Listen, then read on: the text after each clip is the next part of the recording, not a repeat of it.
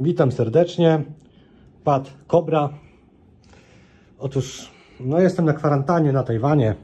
Kupiłem specjalnie tego pada nowiuszkiego, całkowicie nowiuszkiego, żeby móc sobie pograć na PlayStation przez dwa tygodnie, bo przecież jestem zamknięty. No i patrzcie ludzie, co się stało po dwóch, po trzech godzinach grania, nie po dwóch, po trzech godzinach grania i szczerze, trzy godziny grania. Nie ruszam, co się dzieje? Teraz zobaczmy. O! I znowu. O! I znowu. Trzy godziny grania. No i pad nie działa, także... No, jeżeli chcecie wydać pieniądze i martwić się, że czy to gówno będzie działać, czy nie, no to polecam. Polecam serdecznie.